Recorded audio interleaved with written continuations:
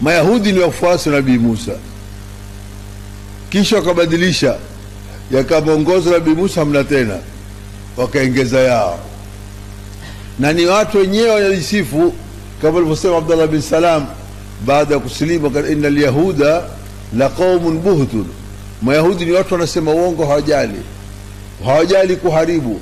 Mayahudi adui yao mkubwa ni ubiniadamu kwa jumla ubiniadamu hawautaki. Wana fikra zao ya kuwa hizi zitu zitakuwa ni zao. Wangojee ile siku yao aliyomul maud. wana fikra yao kwa mwenyezi mungu wamefanya makosa sana kutuumba sisi. Kwa sababu hiyo wamshtaki mungu. Kwa nini kuwaumba hawaguemi leo wakatuharibia mipango yetu? Wana mahala maalumu kule itwa haitul mabka ukuta wa kulia.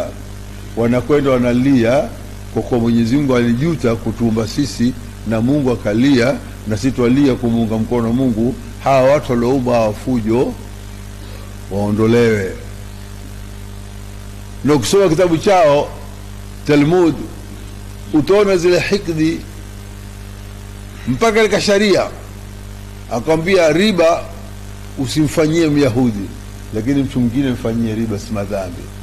Kuzini usizini na myahudi lakini sio kwa myahudi weza kuzini naye.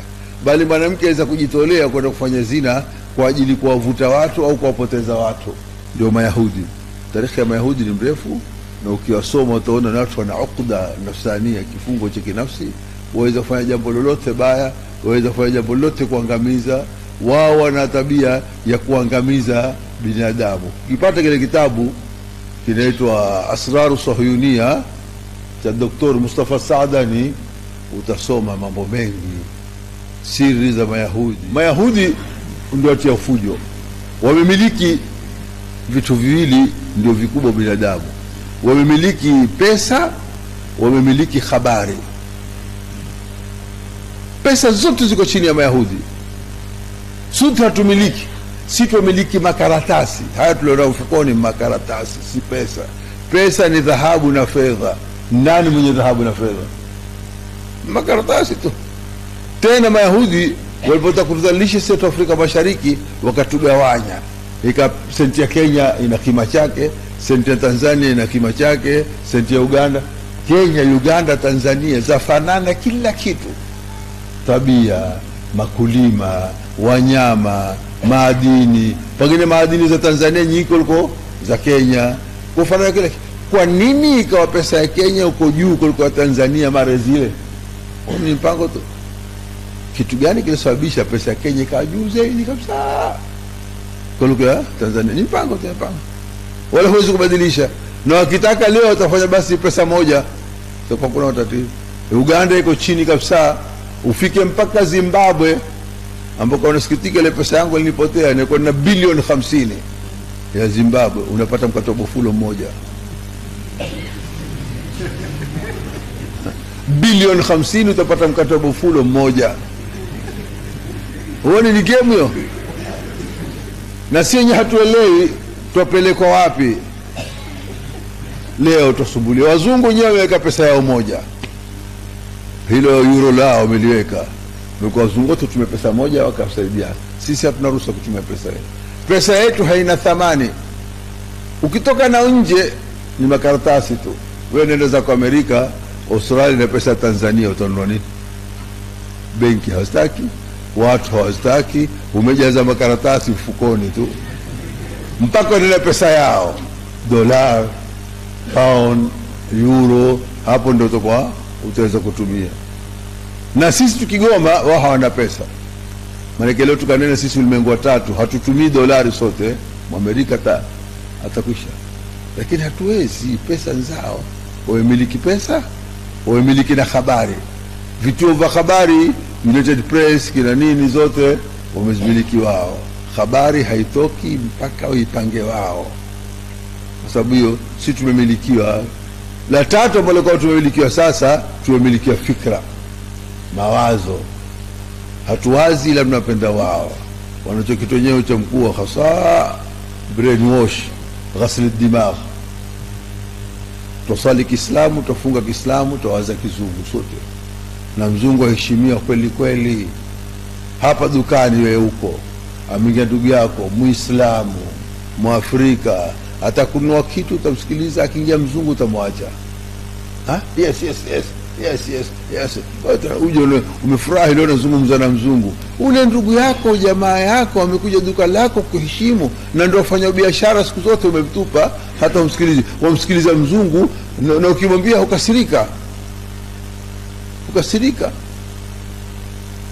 na hii ndio taabu kubwa sana ya watu kutawaliwa na kifikra mawazo yetu.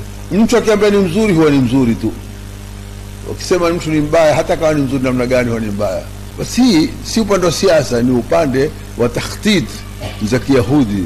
Wenyewe nao wanamwita alukhtubutu lyahudi kuna ule ukhtubut ule nyama baharini amejikaza una mikono mingi oktubot aitwa nini pweza eh, amejaza mikono. Basi na mayahudi nao hushika huku wakashika huku wakashika huku wakatunyonya. Wao wakipija mahala popote hakuna dhambi pija maisraeli wapija mafalastini wakafa elfu kumi. Kimya usifai kusema. Wala hakuna umamu lmutahida wala hakuna lkilabu lmutahida kama sema ukishki. Hakuna hata kilabu lmutahida kisha pigwa tu. Wewe ukijaribu kumgusa mmoja tu aje mzungu hapa tanga uwae usiku. Watu wa tanga hamlali miaka mitano.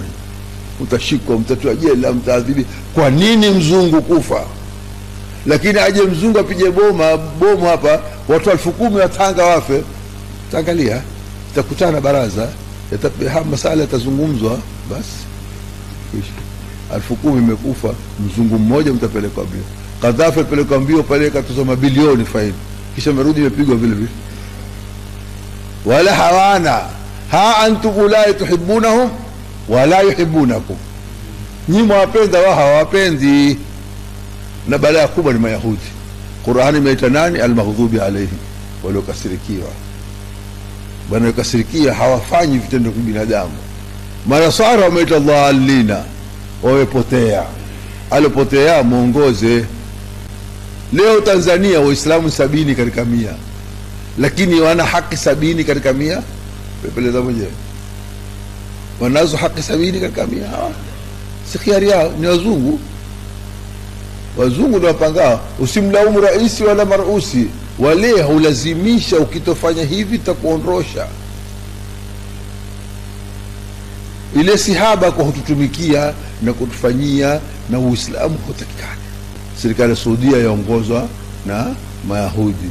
Barua iko. Mimi ninayo kopi ya abdulaziz bin abdurahman al saud baba ya hawa wafalme amesema la mania min itai falastini liyahudi lmasakini, mi sipingi mayahudi wapewe falastini kwa sababu wana haki wao. Yeye akubali. Na ndio siasa saudia. Basi hawawezi kuidhirisha sababu waarabu watawapinga lakini wao siasa yao la mania. Tena almayahudi lmasakini kwa sababu hiyo hawajajaliwa saudia kupeleka jeshi falastini kabisa katika tarikhi yao kupeleka pesa peleka nguo ile kudanganya watu utapeleka mapesa utapeleka nguo utapeleka nazipelekwa zile hugawanywa huku na huku.